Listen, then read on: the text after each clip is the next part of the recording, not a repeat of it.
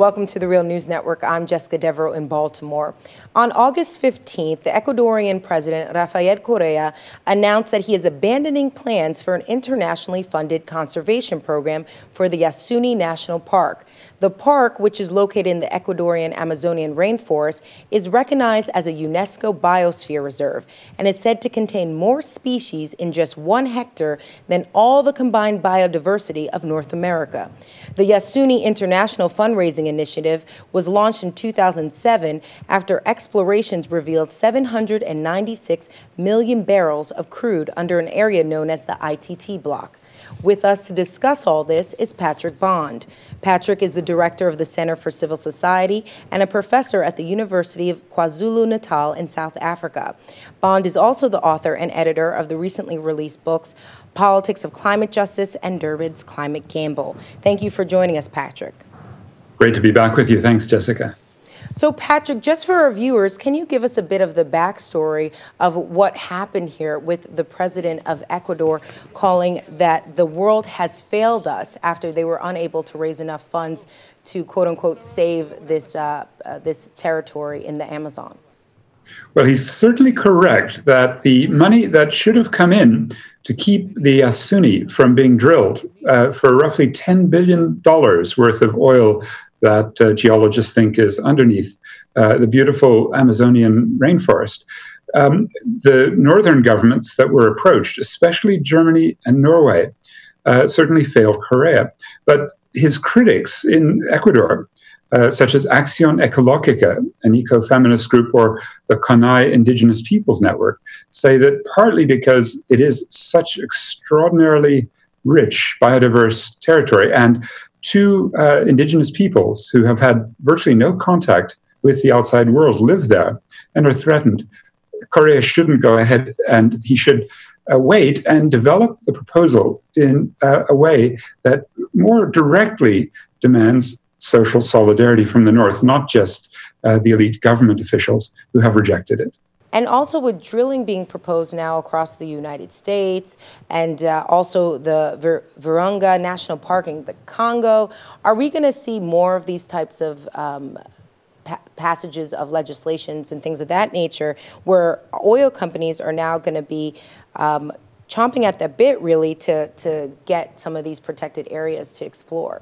Well, certainly the coal, gas, the uh, fracking, the, the, shale, and oil have been the targets of oil companies no matter where uh, these uh, fossil fuels are located.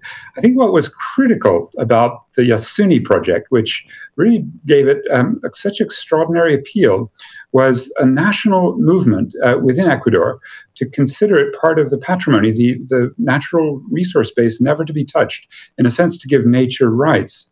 And the Constitution was even changed to give nature rights. And it is going to be quite um, a task for Correa to push through a Congress that certainly supports him in a way that in the prior era, when Texaco, uh, and now it's called Chevron, had drilled uh, ruthlessly along with the uh, Ecuadorian state government to the tune of about $18 billion of damage, according to some courts. That process now can be much better contested. So, although there's great despair that a pilot project, which really would have been a down payment on a climate debt that the North owes the South, the Germans, for example, uh, really opposed it. Dirk Niebel, the uh, development aid minister, uh, reversed his predecessor's support for the project because he instead wanted to see a market based mechanism.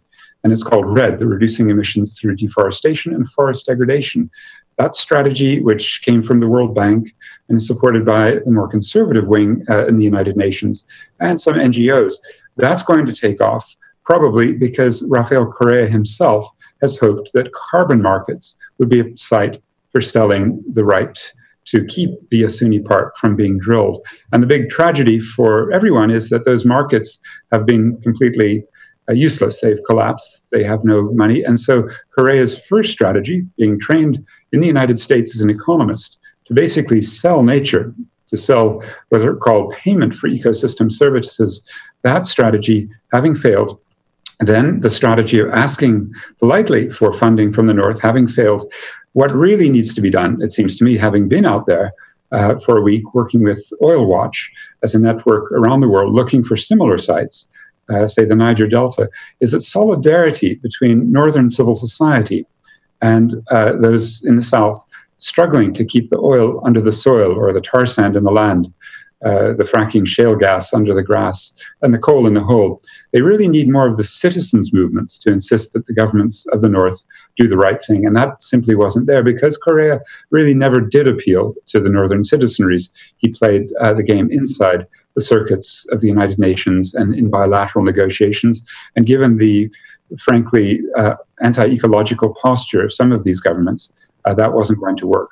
But the Yasuni National Park is a UNESCO um, biosphere reserve, Patrick. Is there any sort of legislation or international law that um, could protect a park like this? Not uh, as such. In fact, um, Correa has run roughshod over a great many uh, local traditions, customs, parks, regulations uh, by allowing his own company and now increasingly Brazilian and especially Chinese companies to come in and prospect and even start construction.